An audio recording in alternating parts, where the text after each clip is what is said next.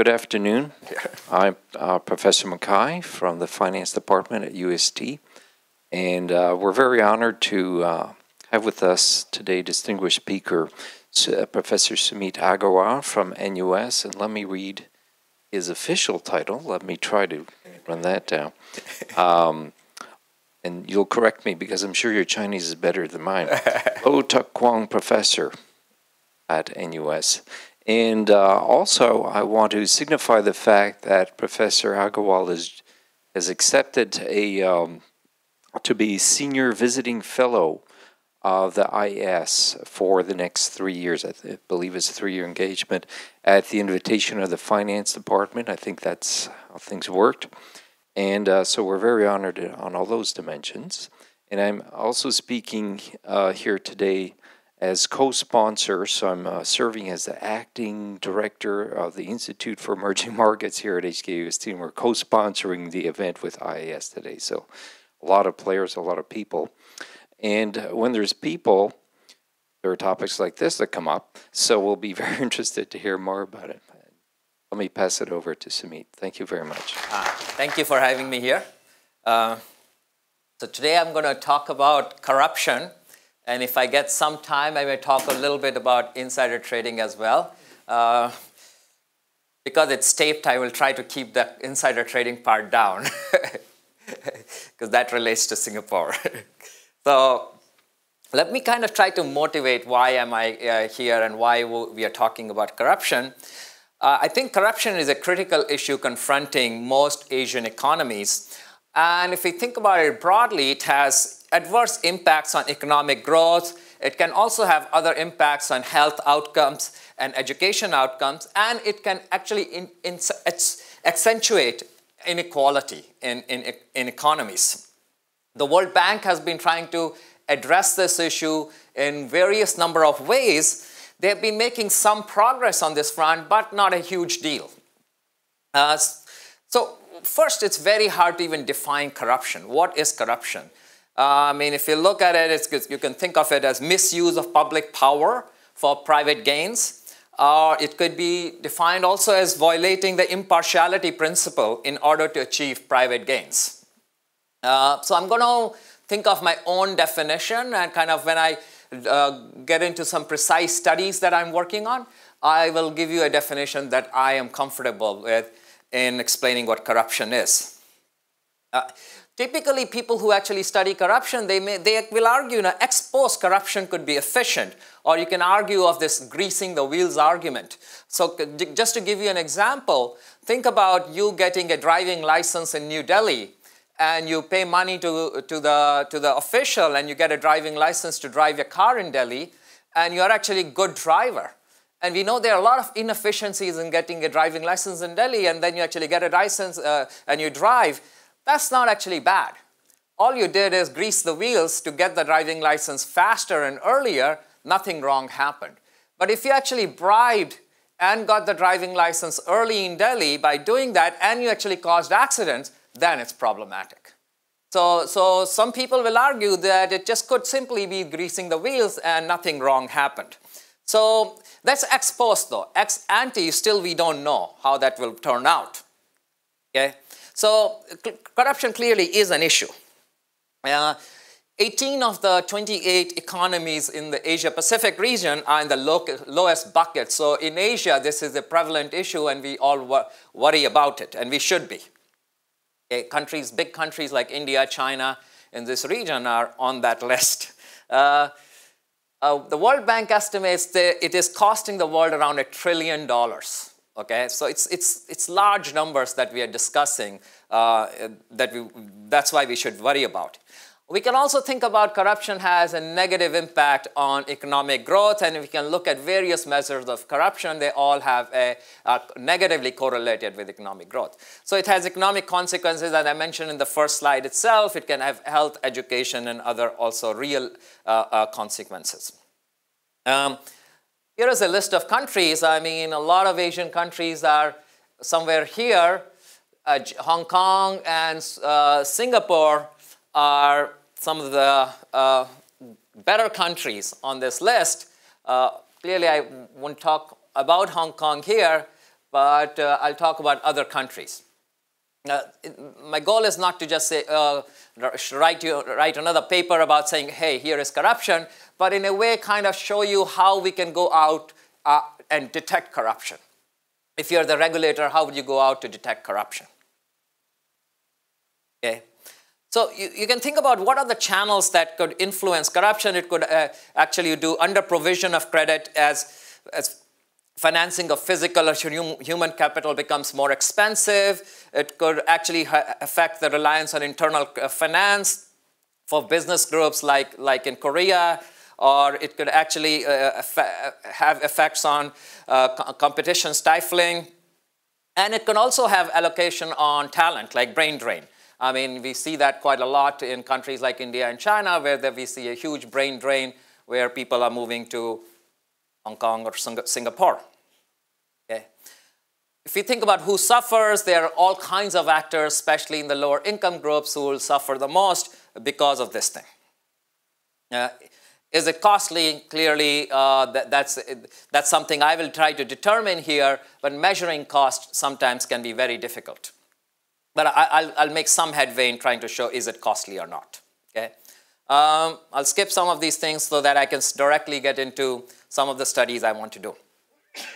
So I'm going to talk about four studies, hopefully two in detail, and if I have any time left, I'm going to talk about the other two, maybe in passing, just a few words at the very end. But let me get into the first two studies that I'm going to talk much more in detail. So the first study is about studying disguised form of corruption, and here I'm going to provide some evidence from China. So for me, China, I think of China as being an ideal case to study corruption. We all know what is happening lately in China. There is a huge anti-corruption drive in trying to stamp out corruption. Clearly, the politicians recognize this is a serious concern. That's why they have been very actively trying to drown out corruption. Uh, but we also know China is a fast growing economy, but it also ranks very high on corruption. It ranks around 80 out of 178 countries uh, on the index of corruption. Uh, they've been catching some big names uh, for, uh, those are in the headlines on, on taking bribes and having huge stacks of money in their house. So from a China uh, Chinese perspective, this issue is important and timely for us to understand what is happening in terms of corruption there. There is a literature that is already being looking at corruption in China. Um, Ray Fisman has been quite active and he's looking at the underpricing of states, state asset sales in China. there has been a study where they look at uh, corruption through the entertainment and travel expenditures across states, and they should document this actually can uh, essentially explain what, how, how much corruption is there across these provinces. There's a new study which looks at price discount received by bureaucrats in the Chinese housing market. Uh, the study I'm going to do is most closely related to number four. By the way, I should say this is like academic style, so you can uh, ask questions anytime. So here we are going to try to document a disguised form of corruption through the bank lending channel in the form of providing consumer credit. I'm going to uh, bring a unique credit card data set from China and then show you how banks extend over generous credit, consumer credit lines of credit to, to the bureaucrats. In, after they extend it, how the bureaucrats will become delin delinquent on these lines of credit and the bank will go out and then reinstate these lines of credit. So just to fix ideas, let's think about the following. This is the entire population that the bank is dealing with, and let's call I am the bank and I'm issuing credit. There is a small minority groups of, the, of my customers, let's call them this rows here, are the bureaucrats, and most of you are the general customers of the bank. As a bank, I'm going to issue credit to all of you guys. Uh, so I'm going to issue credit cards and I'm going to give you credit lines. I'm going to give you guys, let's say X, and then I'm going to give these guys X plus 10% or 20% additional lines of credit, okay? What you guys will do, go out and spend on these credit cards. These guys will end up spending more and they will become delinquent on their lines of credit. Essentially, they will not be paying me back my money. What I do after that, I will just go and reinstate their lines of credit from being delinquent to being current. I'm also going to do that to you guys because you'll pay me back some money, but these guys essentially will not be paying me back, and I'm just going to make their lines of credit current. So I'm doing them a favor by giving these lines of credit, let them go spend on it, and essentially make them current. What do I get in return? What these guys will do for me over time is they will funnel government deposits and put them in my bank account, in my bank branch. Okay? So that's the quid pro quo I will get out of it. Uh, so I'm going to do that is do this experiment province by province and show you that in some province this is happening more so I'm going to give more lines of credit to the bureaucrats in another province I will not. Okay? Then I'll show you if there is a loss to the other consumers, the average consumer in provinces that actually have higher uh, corrupt bureaucrats, what is happening to the average consumer in those provinces. So that's the kind of thought experiment I have. Then I'll try to provide you evidence to what uh, uh, to this kind of mechanism that I'm outlining. First question is why is the bank doing this kind of corruption? Why isn't the bank just going out and why am I not having this amounts of cash sitting in my drawers and I call all of these guys into my branch and I just give them packets. And here is some money, why don't you just take it and you just do me favors later on. First, as a bank, I'm more likely to get caught if I'm doing it as a branch manager. Alternatively, when I do it in by just sending them larger lines of credit, it's very hard for you to detect and catch me that I'm doing that. I'm actually legitimately thinking these are better credit guys. I'm extending them credit and everything le seems legitimate. You know, this reminds me of a story that some, a friend of mine was telling me in, in China. He says, another very nice way of doing corruption in China is you actually, the wife of a very senior politician and a bureaucrat opens up a very nice gallery where she makes her own art and displays it in the gallery. Uh, so the businessmen come over to buy art from the gallery. And they will typically, typically buy the art, which is really crap, but they'll pay enormous amounts of money to buy that art. So what will they do after that? They will actually take that art and go and gift it to the politician, the husband essentially. Uh, because they have to confirm to the politician that we bought it from your wife's uh, gallery and here it is. The husband, in turn, will return it to the wife and she'll hang it again in the gallery. so, uh, in some sense, there is, there is no corruption there. You cannot catch anything. The art is in the eye of the beholder. The businessman thought it was really worth all that money and he bought it and gifted it along. So why would the banks do this kind of thing is because the, the bureaucrats have a lot of power at the local level the, they will end up determining where the new branch openings will go because the, you need the require, you require the permissions of these uh, uh local officials. They also control all the local de uh, government deposits. They determine which branch, which banks, uh, branches get these deposits. Okay? There could also be personal benefits for the manager of the state uh, uh, local branch of the, of the bank because it could be a revolving door. Eventually, he may actually want to go and do public service.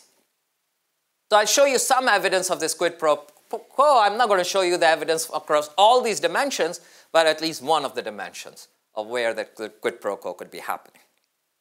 Okay? Just to give you a background of the credit market in China, when the market has been expanding rapidly, uh, it's not at the size of the US market, but by 2013, the, uh, the Chinese credit card market is around half that of the US market. So it's quite large. Uh, the application process in China is very similar to that in the US, except the fact that income is verified. You can't just, in the US, you can just put any number as your income. In China, they actually verify what your income is. Um, so while we were writing this paper, I came across this article in the Financial Times, which talked about this bank, Caja Madrid, which is the oldest Spanish savings bank that provided phantom, phantom corporate credit cards to 68 politicians and bureaucrats between 2003 and 2012. And what these bureaucrats were doing essentially going out and spending money on these credit cards, and they racked up a bill of around 15 million euros. okay? Eventually this got caught, the bank got caught, and they actually were going out of business. Incidentally, this was the bank that the, was the largest beneficiary of the EU bailout. So essentially, the story I'm telling you was captured in the Financial Times about a, a Spanish bank. Very, very similar idea, and they were doing it through these credit cards they were providing to these bureaucrats and politicians. so the contribution we are going to make to the literature is we're going to uh, show you a very unique and we think of this disguised form of corruption through allocation of consumer credit by the banks. To show you if this is economically relevant, I will also show you some way of uh, measure of quid pro quo that the bank is doing something and they'll get something back in return.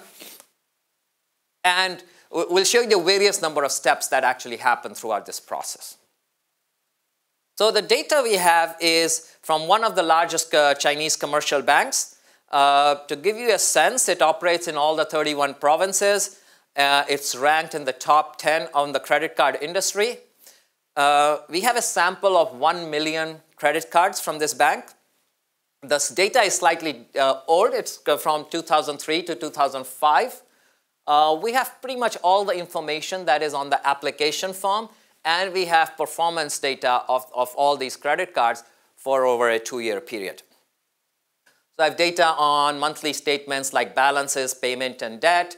I also have a lot of demographic variables like age, income, gender, marital status, education, and occupation. Occupation is what I'm going to use to determine if you are a bureaucrat versus non-bureaucrat. Uh, and the address.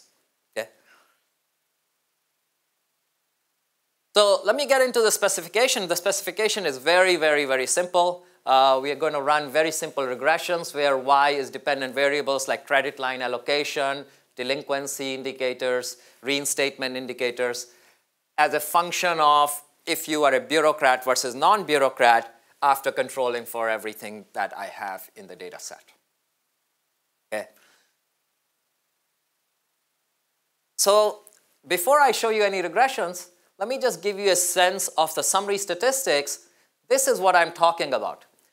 These are the bureaucrats versus non-bureaucrats. The bureaucrats on average are getting around 12 to 13% additional line of credit from this bank. Their delinquency rate is around 30% higher. Their reinstatement rate is also higher by the bank. They are more likely to reinstate the, uh, these customers. And the time to reinstatement is actually longer by the bank for these bureaucrats. Uh, so these are just, uh, in summary stats, you actually can already see there are differences between the bureaucrats and non-bureaucrats. And uh, here I'm doing a match sample. If I do unmatched sample for the entire sample, I get the same results. But this is just so, so I can eliminate all other differences among uh, these two set of uh, uh, categories. Okay. just to kind of give you some more sense, these are not just matching on averages, but I'm going to show you that they actually match up on the entire distribution. So if I plot the kernel density of the distribution of the continuous variables, the control and treatment actually match up essentially at all uh, uh, parts of the distribution. Here is the first regression. This is showing you just the lines of credit. If I take as the most strictest uh, specification, bureaucrats receive a uh, line of credit that is 13% higher than the non-bureaucrats. Uh, you may say this is the average and it might be coming from one province on one part of the distribution. This line of credit is higher throughout the country. So it's not just coming one, from one single part of the distribution or, or, or region. So the, they're playing this game throughout. Here I was telling you the mean effect is 13%. Uh, then I can show you that bureaucrats, as the line of credit increases, the fraction of bureaucrats to the non-bureaucrats also increase. So the bank is giving a higher line of credit to the bureaucrats. Uh, sorry, the number of bureaucrats who are getting a higher line of credit compared to non-bureaucrats increases in the line of credit itself. Okay? So as the line of credit goes from 50,000 to 100,000, the number of bureaucrats who are getting higher lines of credit is more than the ones at this part of the distribution. Next, I want to look at what is happening to delinquency and reinstatement. Bureaucrats are around 40% or if I looked at a more uh, stricter specification, almost 100% more likely to become delinquent than the non-bureaucrats. Uh, reinstatement, obviously the bank is going out and reinstating these lines of credit. They are around 4% more likely to be reinstated by the bank. This time to reinstatement is important in this case. Here I'm saying that uh, it takes them around half a month longer to be reinstated. So I did not actually know this. I, I learned this over time. In China, so let me give you a, a reference. In the US, if you actually have a credit card and you spend $1,000, and by the end of the month, you pay the bank $999, then what happens is you only have a debt of $1 left. The bank will charge, you interest on that $1. What happens in China, if you, have a, if you spend $1,000 and you pay $999, the bank will charge you interest on $1,000. Okay? Uh, which most people don't know. Most people don't understand how debt works in China. So your strategy is you have to pay off the entire amount. Okay? So, so not paying off the loan every month is very detrimental to the consumer. So the fact that these guys take longer to be reinstated tells you that the bureaucrats have no intention of paying this amount until the bank will go out and reinstate them for free, essentially. The average customer actually pays off faster even, though, even when they're delinquent. Yes. What does reinstatement mean? And in fact, what does delinquency mean specifically? Okay. So we don't want to look at default per se which is a, a, technical term in the sense from a bank's point of view, because they have to charge off the debt. That happens after 180 days of, of you not paying the debt off. So we are going to look at 60 days. After 60 days, if you didn't pay off the debt, what is happening to you? That's how we are defining delinquency. What does reinstatement means is that Vidhan has not paid me back for 60 days. Now I have a choice what to do with his account. So I'm going to just come up with some renegotiation with him and tell him, okay, if you give me 10%, I'm going to make your account current and remove you from the delinquency status and it's current and then you can go out and use the entire line of credit again. Okay, so what am I saying is I do that more so for the bureaucrats than the non-bureaucrats. I'm going out and making their account current so that I allow them to go out and spend this money again. This is personal card, right? I would just want, could they be used for the wives, sons, uh, is it for the family card, or bureaucracy? Yeah, so uh, everything I'm telling you will be an understatement of the true uh, kind of corruption that is going on. Because I have no way to find out the cards that the bank is giving to the family members. I'm just looking at precisely that you're a bureaucrat and you have this card and what you're doing on that card. Clearly, the bank must be doing this and giving the similar kinds of cards to the family members, and same kind of things are happening on those cards as well. But I, I have no way to uh, link family members to each other and the cards to that way. Just to two caveats. I have a very recent data set which is very similar to this data set, but I have a co-author on that uh, data set who is a bank employee. So I can't use that to show you the same experience today. But we have replicated all this exercise on that data set and we find very similar results. So that, that was just to show you the, the headline result, that bureaucrats more get more line of credit, they default more, they get reinstated more. then the question is, is the bank doing that to all the bureaucrats? That sounds very inefficient way of bribing the bureaucrats. The bank should only be bribing certain bureaucrats not all of them, because some of them are not useful to the bank. Okay?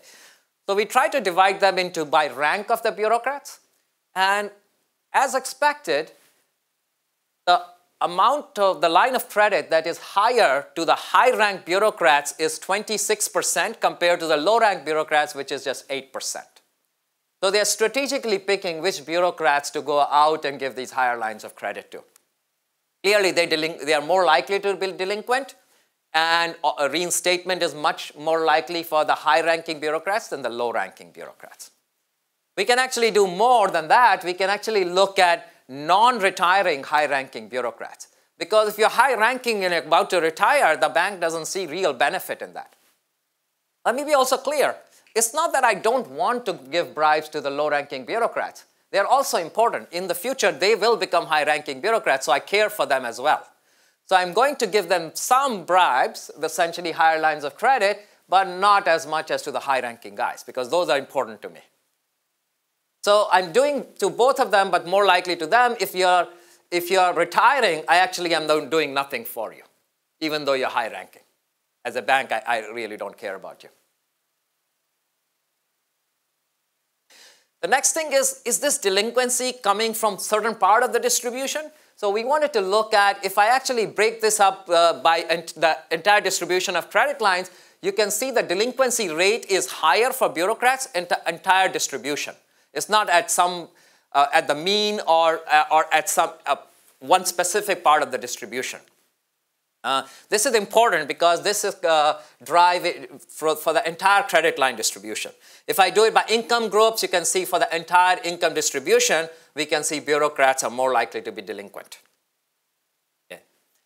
What we do is we actually look at some of the standard measures used in the literature on saying that which provinces are corrupt. So we have this uh, government inefficiency, travel, high travel budgets, high entertainment budget, and high conference budgets, and we interact that with our bureaucrat coefficient.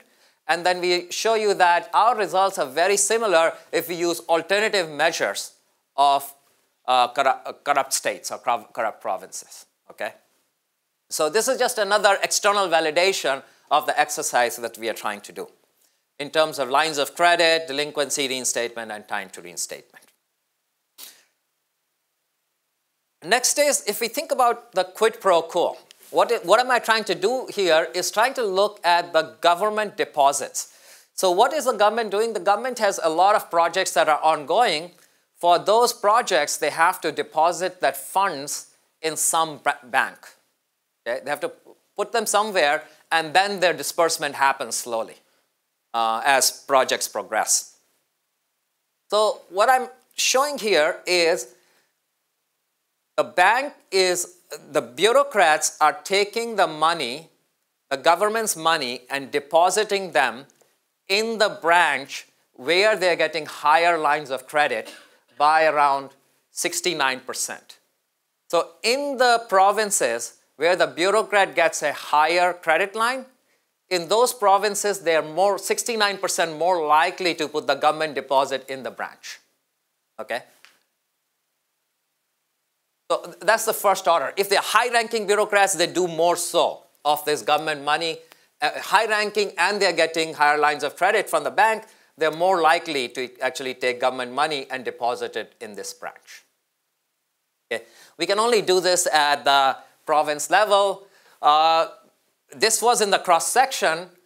So what I can also do is, in the change because then I can show you in the time series when a bureaucrat gets higher line of credit in the first year, in the second year, the bureaucrat takes the government funds and puts it in the, in the branch. Okay? So in the cross section, you may say, I don't know which one is coming first. Is the, is the bureaucrat putting the government funds into the branch, and after that, the bank is giving you a higher line of credit. But here, clearly, I'm showing you in terms of uh, the pattern that first the bank is giving you higher lines of credit, and then the bureaucrat is responding. So fine, so far what I've established is that the bank does something for the bureaucrats and the bureaucrats in return do something back for the banks. Is it actually bad? Maybe this is just greasing the wheels. That's all we have shown. Uh, is there implications for the society? So now what I'm going to do is I'm going to take uh, cities and break them up into two. Higher corrupt cities and lower corrupt cities, or cities where bureaucrats are getting higher lines of credit versus cities bureaucrats are getting low lines of credit. So what I show you, these are the non-bureaucrats. Then I'm looking at all the non-bureaucrats in these cities, and I find that the cities where bureaucrats get higher lines of credit, the non-bureaucrats get a line of credit of 16,000, And in cities where bureaucrats get low lines of credit, here the non-bureaucrat gets 20,000 uh, RMBs lines of credit. So what is happening is there, there is a effect on the non-bureaucrats in these two cities. Essentially, it's not infinite amount of money that the bank can give out to the bureaucrats and the non-bureaucrats, nothing happens to the non-bureaucrats. What I'm showing you is the non-bureaucrats essentially end up suffering. This, this has implications on uh, small business formation or employment generation in these cities because you're inefficiently allocating capital to the bureaucrats, and if it was allocated correctly to the non-bureaucrats, they may actually have done something productive. But maybe there's too much lending to the uh, non-bureaucrats and low-bureaucrat cities. So this additional lending to non-bureaucrats is actually bad. Uh, additional lending to non-bureaucrats, you mean? No, we actually see their lines of credit as lower. Uh, sorry, uh, delinquency rates. So clearly, it's not that they are uh, taking out excessive credit and becoming delinquent on it. Okay? So after matching everything, I can show you that these, uh, these guys are getting higher lines of credit, uh, sorry, lower lines of credit, and that's detrimental. I can run a bunch of regressions to show you this, that they are around 40%, 49% less likely to get lines of credit if they are, if they are in cities where the bureaucrats are being given higher lines of credit. So far, I've shown you everything in the cross section. So you may say, you know, I don't know if uh, these days everything is about identification. I really don't believe what you have done so far. So it so happened that during our sample period, there was another crackdown on corruption uh, in China. Uh, so what was happening, we, there is a paper by Chen et al. which identifies 22 cases of uh, crack, uh, crackdowns on province-level uh, political officials uh, in these 15 provinces that are in our sample. Okay? So what we are going to do is we are going to look at the provision of credit before and after the crackdown, essentially. So you can think of this as a diff and diff exercise. So what we show you is the bureaucrats are getting a 17% higher line of credit, but after the crackdown, it drops by 14%. Okay? So you can think about within the same uh, city, they were getting a higher line of credit. Then there was a crackdown in that city. The lines of credit dropped by 14%. So quite a significant drop because of this crackdown. I can look at the delinquency rates.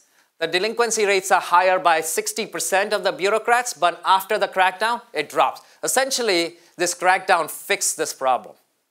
That was happening that the banks were going out and giving these additional lines of credit, and the crackdown happened, and the bank actually fixed its ways and said, I'm not going to give these additional lines of credit to the bureaucrats anymore. Yes. So are these new credit lines? What, what do you mean by credit line? Column one? Yes, these are all new credit lines. Okay. So they're not actually calling back existing credit lines? No, no, no. Okay. So you can see across all dimensions on reinstatement, delinquency, and lines of credit, all of a sudden the bank actually changes its behavior and is not practicing this giving out excessive lines of credit to the bureaucrats. I can also look at what is happening to the behavior of the bureaucrats because of this crackdown. Earlier, I showed you that the bureaucrats were actually putting a lot, a lot of the excessive deposits in these branches where they were getting higher lines of credit. So after the crackdown, this behavior of the bureaucrats depositing the money, the government money in these branches, drops by 70%. So it, it could have dropped by 100% because earlier we were showing you it's higher up by 129%. Uh, clearly, not all bureaucrats are doing this, but clearly there's an impact of this crackdown uh, on the bureaucratic behavior. Now, we're trying to control for as much uh, um, variation in these counties captured, captured by GDP per capita at the local level. The next question is, how economically significant is this behavior? I mean, if I show you all of this and at the end of the day, it is, it means nothing, then maybe even though we have found some form of corruption, it may not amount to much. We do some back of the envelope calculation on how many bureaucrats that we have in our sample. It's 7.3%, so around 100,000 uh, bureaucrats in the sample. If we measure the excessive line of credit extended, it comes around to around 572 million RMBs. We can look at the delinquency rates. Uh, at the end of the day, I can show you that assuming total corruption accounting for 5% of the GDP, we can account for around 3.2% of the corruption in China. So that's not trivial, but it, uh, obviously it can't account for all of the corruption that is happening in China. The key point here is it's a novel way to detect corruption, and it's something that any regulator around the world can take and say, let me detect corruption in any country, like what happened in Spain. So a, a regulator in India or in China or any country can just ask the banks to do, uh, give them all their data, uh, including the demographics, and just go through this exercise that we conducted and, and be able to cleanly detect if the bank is doing anything inappropriate. It so happens for the same bank, we actually have data on the other loans that the bank is extending. So the bank was extending uh, mortgage loans and auto loans. So we could actually look at what was happening to mortgage and auto loans to these customers, bureaucrats versus non-bureaucrats. Um, so we are looking at housing mortgage, what is the loan amount, what is, the, what is the loan with collateral and what is the delinquency rate?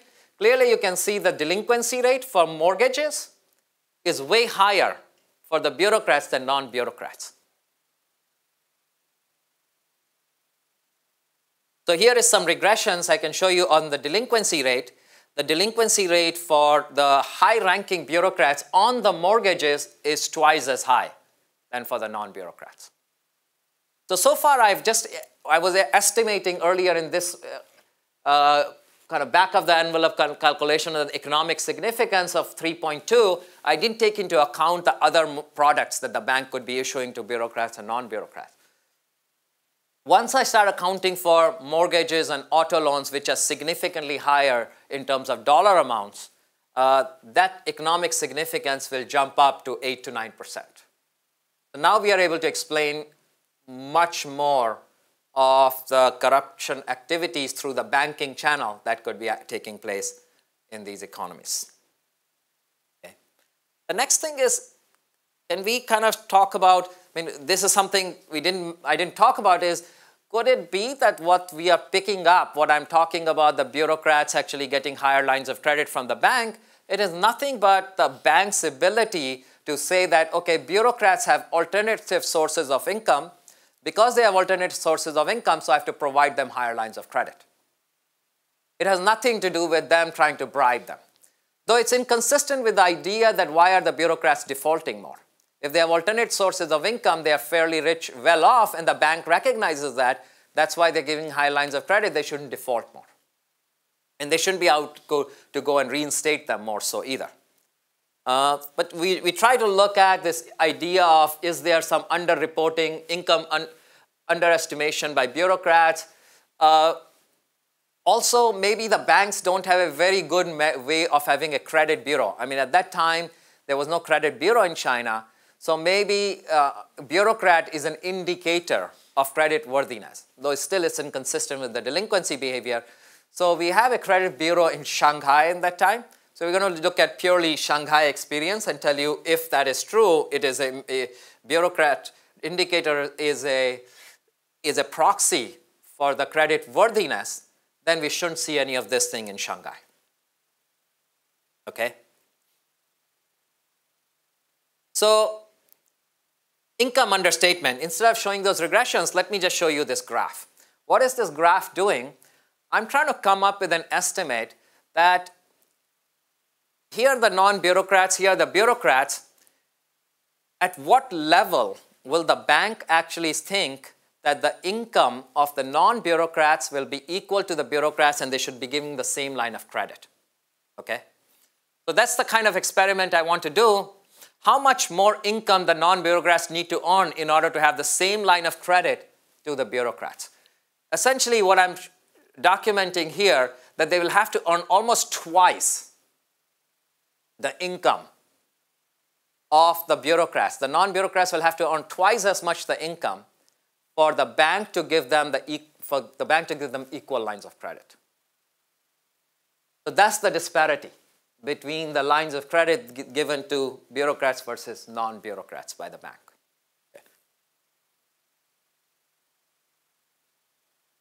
Looking at Shanghai. So we thought once we do this for Shanghai, or most of our results essentially should go away. Uh, when we run the regression and have a basically a Shanghai dummy on the lines of credit, we see no difference. Essentially, we, the, we see the same result of excessive lending even in, in Shanghai. So it's not that this bureaucrat indicator was picking up something that was related to credit worthiness because of lack of credit bureaus in, in the major cities in China.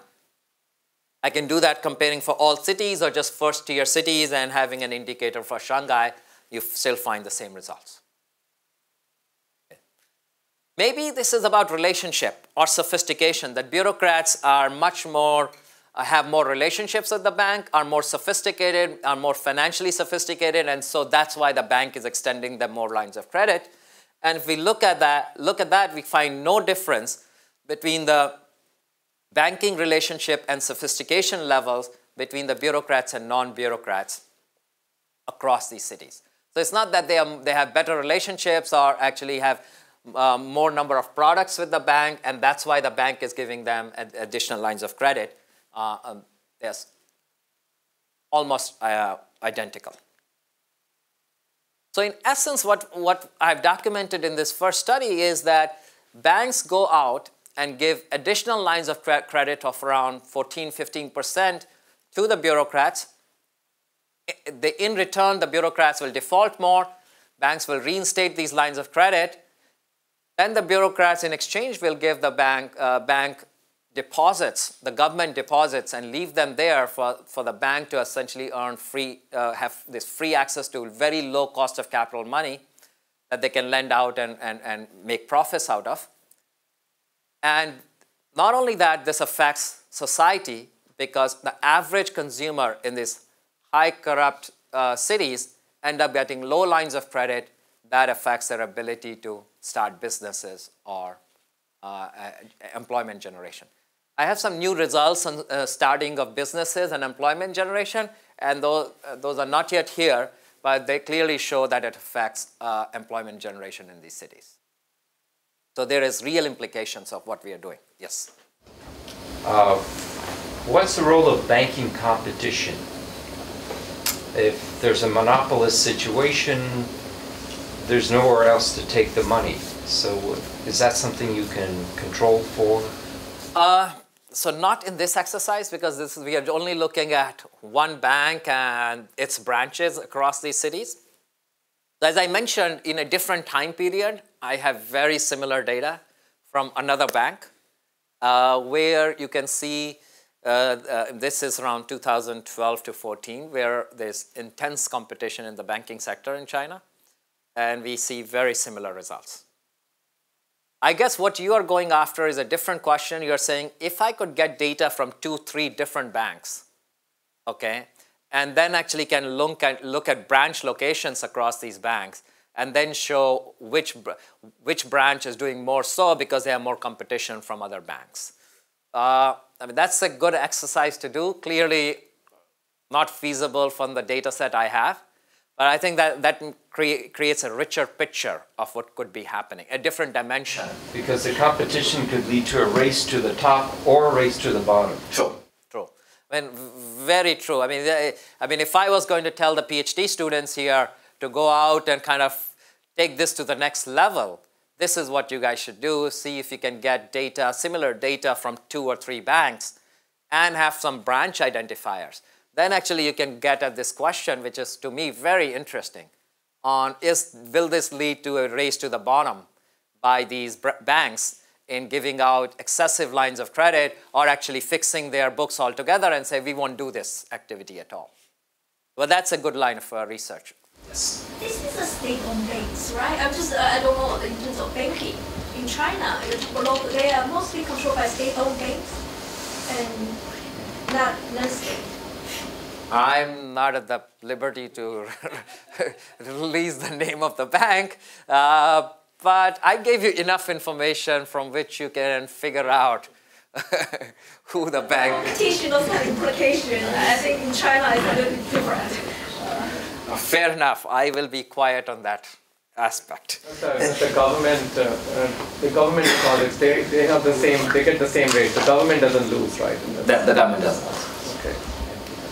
But, sorry, along the same lines, lines as that question, uh, I think the big state banks in China have dedicated industries, so agricultural bank, telecom, and so on, uh, which again would dictate or interact with the competition, I suppose. But uh, I mean, I agree. I mean, I think uh, I completely agree with your line of research. I would endorse that and say somebody should do it. Uh, if you're trying to get me to tell you where, what industry this is coming from, I have no idea. No, but we're trying to get at what would be the policies that would help address the corruption, which would be to support competition or discourage competition. We don't know yet. I mean, this is something some we'll have to kind of figure it out. We know the crackdown works. yeah. Well. Okay. That's evident from the from the paper that if the regulators and the government cracks down on this behavior, or in general cracks down on corruption, we see huge drop in this kind of activity, which is uncorrelated with competition or not. Okay, so clearly that itself can have huge impacts. So if we look at the recent episode of uh, government's crackdown on corruption, clearly we should see an effect. So, I mean, this is something we are not really measuring in the data. We talk about, uh, oh, this is uh, this uh, uh, crackdown on corruption is impacting China's GDP, but nobody is saying, oh, this crackdown could actually have effect on the bureaucrats' ability to spend, and that could also be affecting consumption and GDP in China. So an, that's another externality of the crackdown. Okay. If any questions on this study before I kind of move on to think about another totally different aspect? Yes. yes okay. Thank you very much for your great talk. First uh, question is about your data. Yes. Uh, it's very difficult for us to get similar data. So do you mind share some experience? Uh, how can we get uh, some uh, same kind of data? Uh, so getting data is a very difficult task to me. I've been spent, I spent 15 years doing this thing. I do, I do this almost for a living, trying to see how, how can I get data. So the history of this, this data is that this data was sitting around on my computer for many years, but it was in Chinese. And I had no idea what it was and what to do with it. And then I started, uh, I came to NUS and I was talking to my PhD student, Jian Zhang, who, was, uh, one, who is one of the authors. And I gave him the data and I said, can you figure out what the data is all about? Uh, so he, immediately he went back and he ran some summary statistics just by occupation because I didn't even know what those variables were. So he found this very quick results which sound very appealing to me. And then we dug deeper. Your question on how to get this kind of data, I think um, I have lots of my PhD students at NUS who are very entrepreneurial. I mean, uh, I have a couple of them actually placed here in, not at UST, but in, in Hong Kong. And they will call me every now and then, hey, Sumit, I have some great data from China. Let's start working together. So I think it's not that hard. So people are getting it and are able to get these kind of data sets. I mean, I get calls from them. So clearly they are doing something right. Um, I don't know if that answers the question, but I think there, are, there is ability. Uh, think about tenure, and you will get the data. Okay, and my second question is about uh, some classification. Uh, you talk about high-rank officials and low-rank officials. And in my point of view, uh, some low-rank officials which directly in charge of banking system or uh, maybe housing market will be more useful uh, than those high-rank officials uh, maybe in charge of some other area like educational environment. So do you think your classification is uh, to appropriate uh, directly divided into two parts, high and low? I agree with you. I mean, if I had a better data set, which not only did a classification of high and low ranking, but which part of the bureaucracy they were in. Are they dealing with finance? Are they dealing with uh, education? It would give us a richer story to tell. But clearly, I don't have that. I, don't, I only have an indicator which is 1 to 5 on the rank of bureaucracy.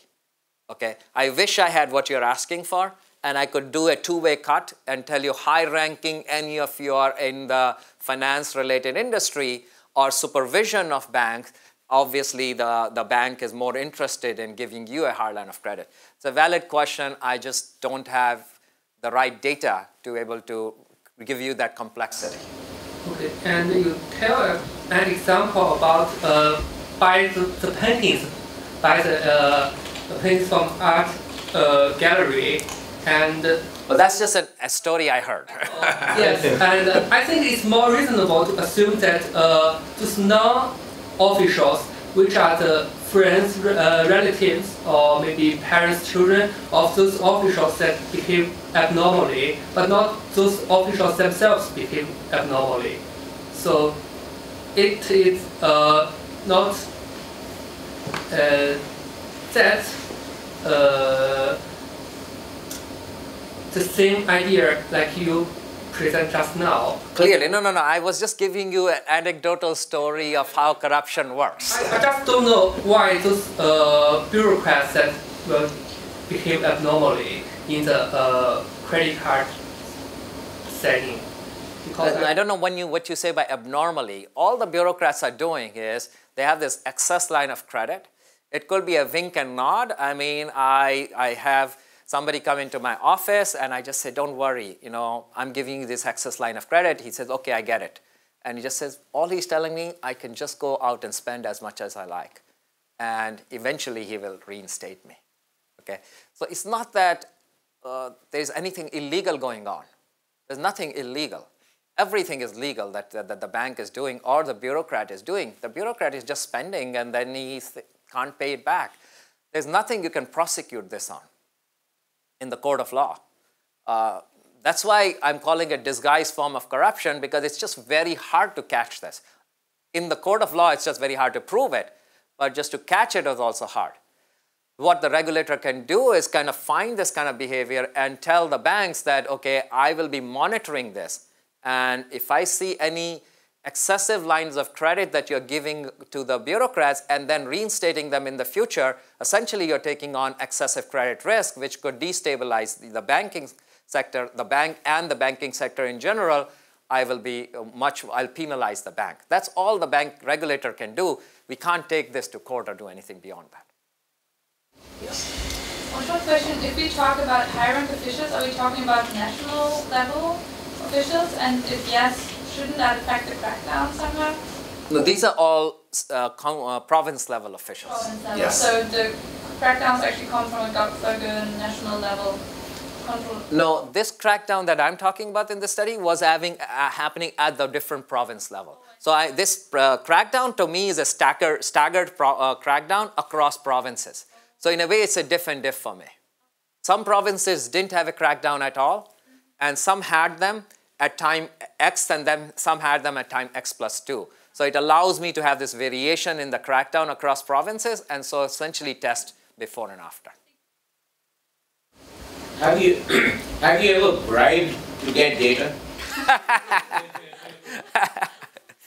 no. Answer is no. uh, so it's a credit of the bureau, uh, bureaucrats went to delinquency they, they probably go into the blacklist of the banks. Is that any reputation concern from those bureaucrats to do this? It seems a little bit risky. Yeah, so that's a good question. Uh, what you're saying is why are the bureaucrats involved in this kind of activity? Because this could impact their reputation. So think about it, if they actually defaulted, okay, and their bank had to charge it off, then the bank actually has to keep a record of it. Nobody is defaulting in this exercise. All what is happening is these bureaucrats are becoming delinquent. They just stop paying for six, uh, six, two, two, three months. And I, as a bank, says, okay, I'm not going to make them become uh, default on this loan. I'm just going to reinstate them and make them current again. So there's no reputation cost at all to them. I just go back and fix this delinquency status and make it current. Yes, if I let them default, and then I have to mark them as defaulted, then uh, I see a point that there could be a reputation concern for them. But in a way, what is happening, there is this wink and nod that, you know, don't worry, I'm extending you this line of credit. If you become delinquent, we'll just fix it later. I think that's kind of related to the earlier point. I will find it, I know the data is not there, but if you identify the, the card of the wife, that's a lot more convincing to me because there's a lot of anecdotal evidence in the department coupons all goes to wife. For bureaucrat, because if they just delinquent, there's no reputational effect. They could just be too busy, right? They're busy, civil servant. Uh, we, we of course are not going to do anything. So it's quick pro protocol, but it's less cynical. So you're saying that the evidence that I'm showing you that they are delinquent and they, the bank reinstates them is nothing, nothing nefarious is happening here. What is, what, what is simply happening is the bureaucrat is too busy to pay it back. Well, I think to be fair, that's why your consequence result is very interesting yes. deposit. That's a key. So uh, I think if I show you one or two regressions in this exercise, clearly you can take it apart. But the sequence of events I'm showing you, it's very hard to come up with alternative stories with all this sequence of events. I think that's the point. Otherwise, even I would take it apart sitting in my own room and saying, I can't write this paper. Let me try to move on and try to give you a different story. So this was at the micro level of consumer credit being extended through credit cards in China. So let's look at uh, something of uh, the politics of bank lending in a post-privatization economy, and here we're going to talk about Mexico.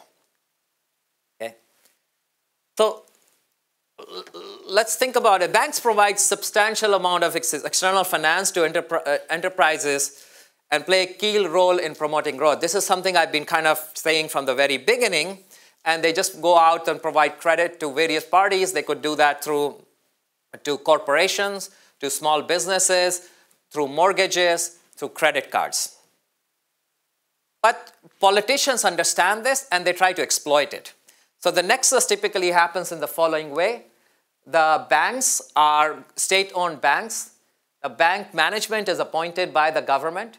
The banks extend credit to politically connected firms, and they firms default, and the banks can't do anything. And the firms, in essence, provide uh, kickbacks to the politicians. That's the nexus typically we think about, that essentially the banks get captured by the politicians in helping the firms. Uh, I see this in India all the time, where the bank is nothing but an arm of the politician. He says, just go give credit because it will help me in my, in my re-election when it's coming up. And uh, says, don't worry about delinquency. We will worry about it later. We'll just give you, give you more, uh, uh, more funds to the bank. Okay? But what happens when you actually privatize these banks? Then essentially you're breaking this link. In a privatized economy, the government cannot influence a bank, cannot go out and appoint their, uh, their management, so the banks don't have any obligation to listen to the politicians. So the banks should not be doing this. They should not be going out and make these loans that are uh, loss-making for them. Okay? They're in the, in the profit maximization business. The question is, will the banks still do this? Make loans to politicians, uh, to, to firms, in essence, then they could help the politicians. That's what we are going after. In the first paper, essentially, we were here. We were in this world. In this paper, are we saying that what happens when you privatize these economies, uh, these banks, uh, do the banks still go out and make these uh, lending decisions uh, that are politically motivated? So we are going to look at uh, uh, Mexico, where the government actually started privatizing uh, the banking sector I mean, globally we see the privatization happening. Oh, since 1977. In Mexico, it started happening from 1980s to 1990s. But we are going to look at a data set that from 2003 to 2012. This is a pretty comprehensive data set of all loans for all banks in Mexico uh, made to small businesses. So all loans by all banks uh, over this 10-year uh, period. Okay?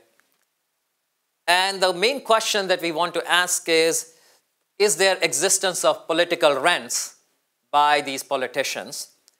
Do they essentially force the banks to give favorable lending terms and what happens to ex post performance of the loans that these banks make, make uh, extend these uh, uh, lending terms to? What are the effects of these on the supply side? What are the dynamics along the political cycle? Okay, so let me be clear. In the earlier exercise that I was doing, what I was looking at, I was comparing essentially Vidhan, who is a non-bureaucrat, to somebody who's a bureaucrat. And among bureaucrats, I was comparing two different bureaucrats. Okay? In this exercise, actually, I'm going to look at Vidhan's, uh, Vidhan is a small business owner. I'm going to look at his behavior while a, a bureaucrat comes in, uh, a politician comes into power, when the politician leaves power, so I can look at the effect within person, within business, not across businesses. So across businesses, you can think of there could be some heterogeneity and there could be unobservable characteristics that I cannot account for. So here I'm going to look at within person and show you what is happening to that person's ability to borrow from the bank when a politician comes in that is favorable to him and when that politician leaves office and what does a bank do to him. So that's the exercise I have. Here I'm not going to differentiate between bureaucrats and non-bureaucrats. The exercise I'm going to do is the following. Uh, there is a, uh, um, let's think of Vidhan, who was from this province. He then became a, a politician. He got, got elected politician. After being elected, because of some randomized assignment, he got on a committee that allocates credit for agriculture. Once he becomes on this committee, and let's say there was somebody from this row who didn't become on this committee. Because he became part of this committee, me as a bank will go out and allocate more credit to his state than to these states. Because he's on the agriculture committee, I care about him, I'm going to allocate more credit. What will happen is when Vidhan steps down from this committee, I will change my behavior completely as a bank. I will say, I don't need to worry about this state anymore. And all these borrowers in this state, I'm going to look at them, my extension of credit to them while he was on the committee, after he let, left the committee, and then look at another set of borrowers from this state while they were not on the committee and when a politician became part of the committee. Does that make sense? The, uh, the thought experiment that I want to conduct?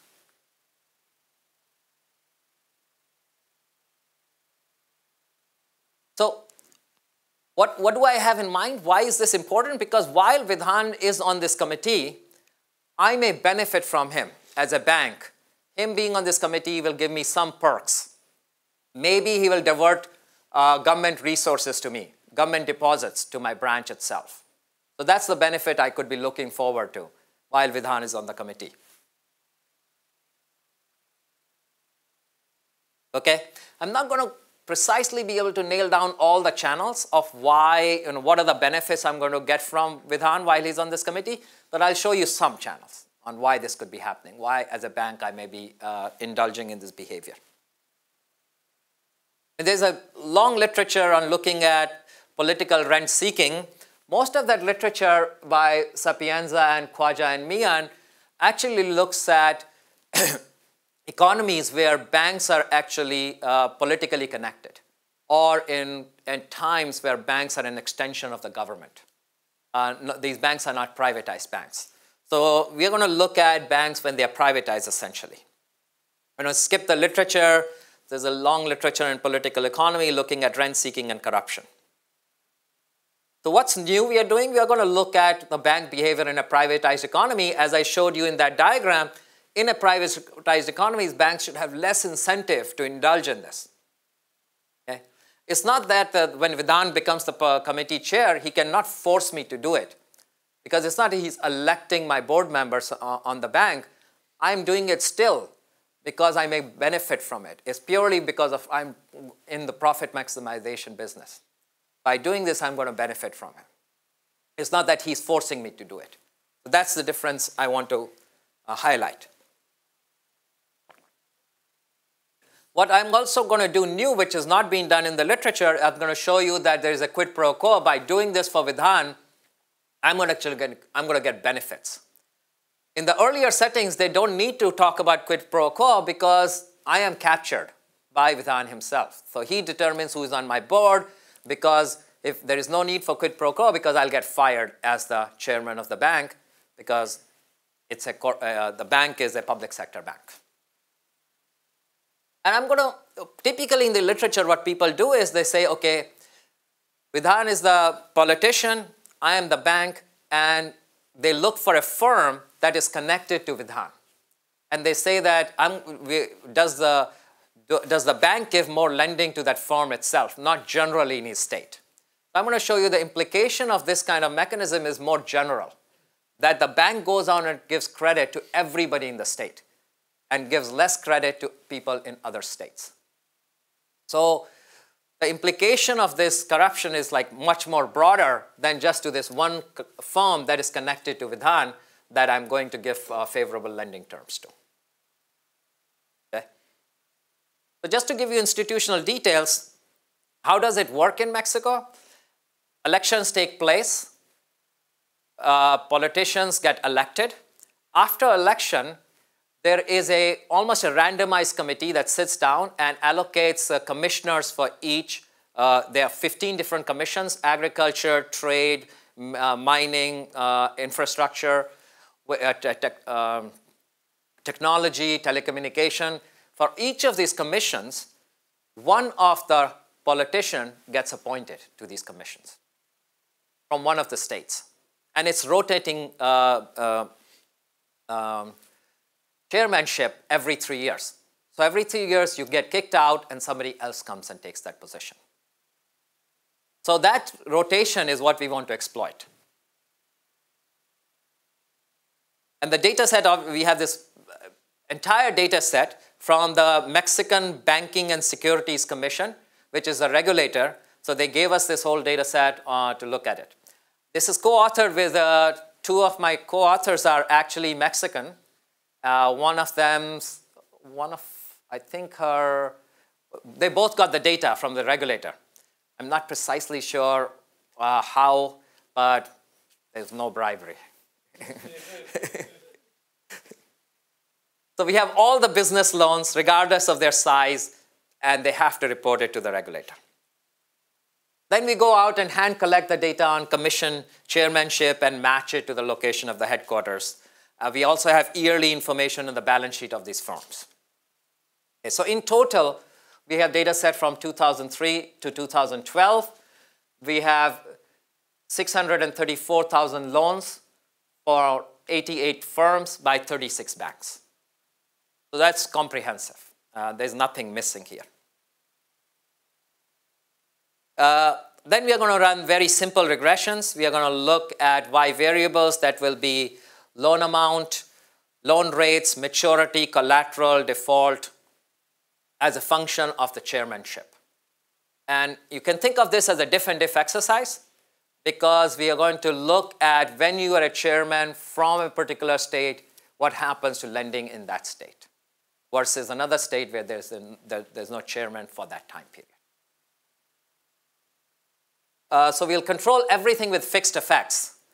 So when you think of the diff and diff, uh, all of those uh, differences are washed away except this chairmanship, which is looking at the diff and diff, but the first diffs are taken care of by fixed effects. Okay. Just to give you a sense of what is happening of loans with chairman and without chairman, this is just summary statistics. The loan volume is higher with chairman Collateral is lower when you have the chairman from that state. Interest rates are lower. Maturity is around the same and default rate is much higher. Okay? So clearly, the banks are going out and making favorable loans. Now, I want to be clear here. The bank is doing that for everybody in the state. So th this is powerful result. It's not they are, they are doing this for Vidhan's cousin's firm. Okay? I'm going out as a bank and just take, giving a better deal to everybody in Vidhan's state. So that's a massive subsidy that is happening from the bank to this uh, borrowers in the state.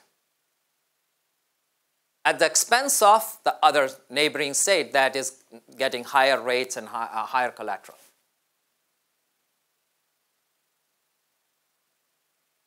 Yes, I will show you that little later that is uncorrelated. You're worried about endogeneity that, you know, I will get to that. Clearly, that's a concern. I, I, I think about it. So 100% will deal, deal with that issue. The, the data you set here is averages. You're claiming that it's not a matter of just a few outliers, a few no, big this is the average. Right, so this is the average. But you, I mean, the, the existence of outliers can still impact the average. So, I mean, it would be useful to see, like, if there's some sort of uh, other higher moments like skew or something that, that were. I will get to that in a few minutes. I hope I'll get to your, answer your question, but if, if I don't, then we'll come back to it. Okay. So these are just summary stats, just showing you that without doing any fancy kind of metrics, you can still see the effects here and here. Okay. Now I'm going to start running some regressions and controlling for all these fixed effects that uh, then this, in, in, in sense, this chairmanship is the diff and diff coefficient that I care about. You can see that the loan volume, okay, is higher by 7% for uh, the loans made in Vidhan's uh, state. Collateral is lower by around 2%. So, sorry, the loan volume is higher by 0.7% in, uh, in his state. Uh, collateral is higher by 1.8%. Sorry, lower. If I look at the loan rates, the loan rates are lower by two basis point. Now, you might say two basis point is not that big in the scheme of things. Uh, clearly, it's true. Two basis point is not dramatic. But if you look at the relationship lending literature, most of the relationship lending literature is talking about two to four basis point reduction. Moreover, this is the average reduction in lending rates for the entire state, okay, while he is the committee chair. Okay? So it's uh, significant in that sense. And maturity is higher, so I'm giving them longer loans by 0.9 months. If I look at the default rates, default rates are uh, higher by 12% of the loans in this state. So clearly, uh, the bank is going out of its way to give these loans that are ex post defaulting more. Then question is, it should not be that the, the bank is doing this for everybody. Can we kind of narrow this down to the industry? So next what we do is we say if Vidhan was the chairman of the electricity commission, what is the bank doing to the electricity related loans in that state? Or if he was the chairman of uh, the agriculture commission, what am I doing to the agriculture loans in that state? Am I doing more favors to the uh, agriculture loans in that state? Second, can I actually look at this direct relationship of uh, uh, these connections? Uh, do I give better terms and conditions to loans in his municipality within the state? Okay, obviously he comes from a small part of that state. Do I go out and to give better terms and conditions to that small section of the state? Am I giving favorable terms? So you can think of family and clan members living close to the politician's hometown. Um, but I don't know if you guys have read, there, was, there is this cool paper that talks about, it was recently in the AER, that has this really nice satellite data set. And they actually show that if you look at the satellite maps in the nighttime, and they just look at lights, number of lights uh, in the city, they go up after a politician becomes, uh, gets elected, they look before and after the a number of lights in his hometown. They go up dramatically. so in, that's, that's what we are trying to get as do, do, do we see something like that happening? So we can, this is the baseline, which is the volume goes up for if you're uh, for all loans. This is what is happening for the volume for the same industry of which he is the chairman of. And you can see the effect is dramatically higher. Uh, interest rates are lower, but they, they are lower by even three basis point more so in the same industry. Maturity is clearly higher, but it's slightly lower for the same industry. Collateral is lower. Default is higher. Default is even higher for the same industry loans. If I try to get at the same municipality, again, now this is getting at the connections of the chairman to his, his local people. Do, uh, do, do the banks like it curry favor to them? Uh, loan volume is higher, but it's significantly higher. For it's 1.5% above the 0.7% lending higher for every loan to the people living in that small municipality you can see across the board what the bank is doing either by the industry or by the location, they're giving better rates. They default more, and in every dimension of lending, maturity, interest rate, loan amount, and collateral, they're doing favors.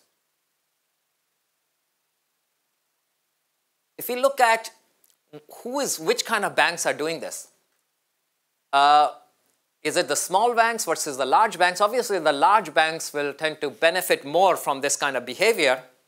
So we see that the larger banks are, the, are more likely to go out and give favors to the chairman. Um, the smaller banks may actually have less to benefit in terms of uh, any, getting any returns from them, from the politician. If I look at domestic versus foreign banks, which kind of banks should do this more? You, you could expect you know, domestic banks to do this. Uh, if we look at the data, we see that there is higher impact for the domestic banks. Actually, they, they care more about the politician than the foreign banks. The foreign banks may actually have better uh, profit maximization policies than the domestic banks because the domestic banks may think, you know, this will help us in the long run. There could be also a revolving door. The domestic banks um, uh, management may actually want to get go into politics, and they could be looking for favors from the uh, from the uh, politician. If we look at over time series, when do they actually try to do this? Do they do it right away? Do they wait one year? Do they wait two years? Uh, do they do it in the last year of the politician's uh, time in the, in, as being the chairman of this committee? We find that they do a little bit early on, but as time goes by, they actually do more and more of these favors to the chairman's uh, uh, um, uh, state. So it may take a while for them to start giving these favors to the chairman, or they may still be catching up from the last term and give, doing favors for another chairman. So it takes them a while, it's not happening immediately. Okay, 10 minutes, so let me speed up. Um, so cl clearly political cycle has some impact. Government borrowing. So this is the quid pro quo. What is happening is does do, the, do they get more government borrowing? What I show you is that, let me, uh, let me show here that the more the government uh, puts the funds in these banks, because what we have is we have precise measures of government funds for government related projects that Vidhan is putting across banks, what we see is the, the, he puts more of the government funds in these banks, which favor his uh, constituency. And we see those are large public sector uh, lending projects. He puts the funds in my bank, and if he does that, I actually give larger discounts in lending terms and collateral in pricing to, to his constituents. Okay? Any real effects? So what we have is the balance sheet data for uh, these firms, for all the firms that he, uh, we are giving loans to, the bank is lending to. So we have data, annualized uh, uh data for them.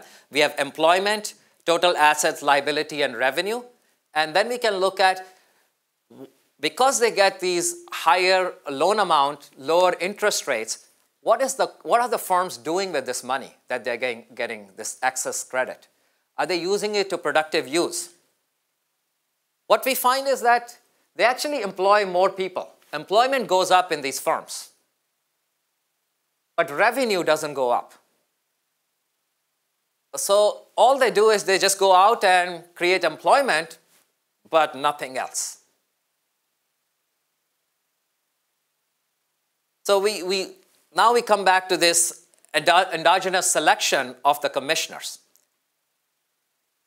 Uh, so we, we know this from uh, the institutional details of how the commissioners are actually selected, that there should not be any endogenous selection.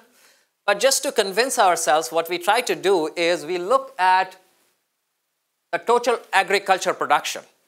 So the story could go as follows, the endogeneity story that the reason Vidhan is selected as the commissioner of agriculture is because the agriculture production in his state was weak.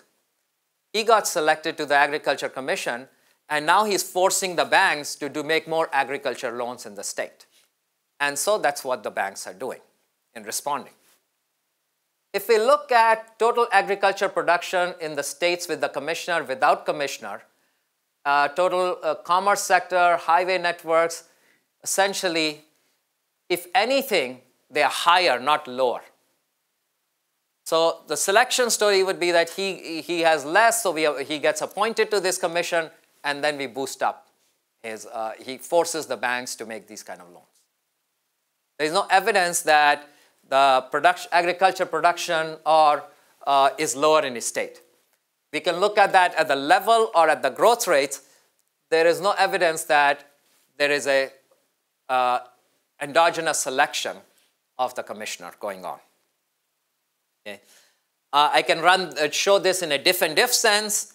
Uh, nothing that shows me that there is uh, endogenous selection of the commissioners. So I'm looking at commissioners with state and without states in terms of GDP growth and employment growth across any dimension. Uh, I don't see any evidence that of endogenous selection. This is another way to look at it. If there was any selection, you would see a divergence with states with chairmen and states without chairmen of this employment growth or annual GDP growth. They would diverge as, uh, and that's would explain why we're going to select the commissioner. The employment and GDP growth move in tandem for uh, states with commissioner and without commissioners.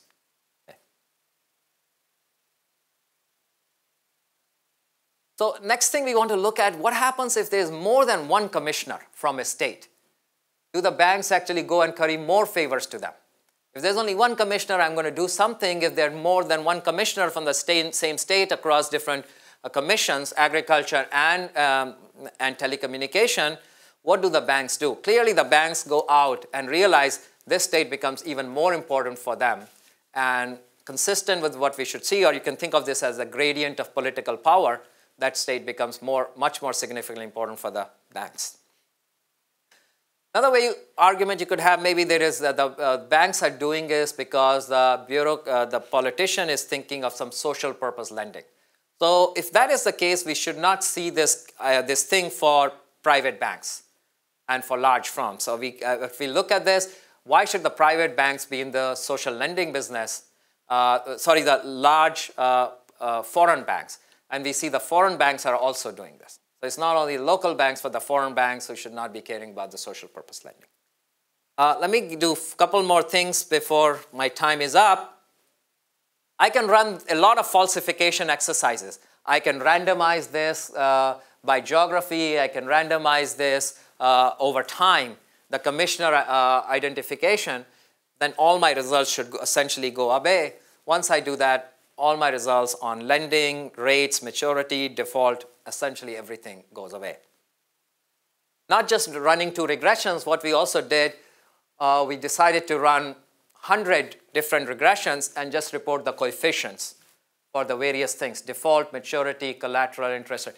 This is something I would advise the PhD students in the room that when you're running, writing any paper these days, it's really a good exercise to kind of conduct a falsification of what your true test is. This kind of convinces the reader that you know the mechanism you have in mind is correct and not just show me this regression, which is also a good exercise to show the falsification, but do something like this. Here I'm essentially running 100 regressions, taking the coefficients and just plotting them and showing that they are all zero, nothing is different. Okay? Uh, we do some uh, uh, macro implications on the monetary cost, and we show you that essentially we can try to explain almost 1.4 to 1.8% of the total corruption in Mexico through this mechanism of giving additional lending. Realize this is a localized effect because this is around the commissioner coming in. Could, this could have a more generalized implications of total corruption uh, of the banks. This is just when a commission, commissioner, uh, a politician becomes a commissioner and when he leaves. What is the additional corruption that we can capture? Uh, I'll stop here. If, if you want, I can talk about uh, some other research on, on corruption, but, or I can just take questions. Go ahead. So I, I just had a question. Um, so if a someone becomes chairman, they direct government contracts toward their state. Then those companies with government contracts go to their bank and say, "Hey, I've got this surefire government contract. Make me a loan. I, I'm, you know, give me a good rate. I don't need collateral because I've got this contract." How, how does how do you separate your story of corruption from at the bank level to just a tilting of resources at the fiscal policy level? Yeah. So your idea is that Vidhan is actually giving contracts, but he's not giving contracts to everybody in the state but he's giving contracts to few of them. And what is happening is those guys are the ones who are getting better lines of credit from the bank and lower collateral. Uh, I'm showing you the evidence is that what the bank is doing is giving favorable terms to everybody in the state. Right, but if, I mean, if there are many, I mean, they're just general contracts, or I have a contract from some, somebody who has a contract, uh, that if there's general, generally a fiscal policy expansion, dedicated in one region. But, but that's not true. We're looking at the GDP growth in the state when he becomes commissioner is not higher or lower by any chance. Those, that, there's no evidence in the data that shows that because of him becoming the commissioner, there is a bump up in GDP in that state. Okay, I thought your question is different. That uh, that what is happening is because he is actually issuing, uh, uh, bringing in a lot of money to the state, say, let's say for uh, road construction, and you are in the road construction business, all you're saying is, I'm showing you evidence is, the bank is giving you better terms because he's also allocating money to you and that money sits in my bank and as a result I allocate you better terms. But that's not what we see in the data. We see that when we actually go to his uh, municipality, despite of which sector they are in, we, the bank gives more lending, even if it's not in the construction business. So the bank is truly going out and doing something for him. As soon as he steps down, we go back to our normal ways. We stop giving additional credit to uh, firms in his state, all firms essentially. So this is not, not looking at politically connected firms. I'm saying that as a bank, I'm doing this for every firm in his state think that's what the point is of the paper, that the bank is going out and essentially trying to give better terms at a much broader scale. Um, and they kind of turn on a dime. As soon as he leaves office, I say, let's move on to the other state where I have another commissioner to take care of. Why doesn't the bank only give more credit to the politically collected firms more credits, uh, but uh, give more credits to all the firms in the state. It seems inefficient for them to please the uh, chairman this way. No. So we show that they do more so for his municipality. I mean, uh, clearly they're doing better for his municipality. Your question is, why are they being so inefficient by giving everybody? So clearly, we care about Vidhan. We want him to give us, allocate government's resources to us. Why does he want us to give credit to everybody? You all are his constituency. If he wants to be re-elected as a politician, he wants not only the votes of his friends, but he wants the votes of everybody in the state. And he then can go back eventually when he stands for election in the next three years, say, hey, I brought so much lending to this state. And not only to the agriculture sector where I was the commissioner, but to all sectors. So, so, so you are more inclined to take care of him come election time. Shall we end it there? We're over time. Thank you very much. A hand for Sumit, Professor Agarwal. Thank you.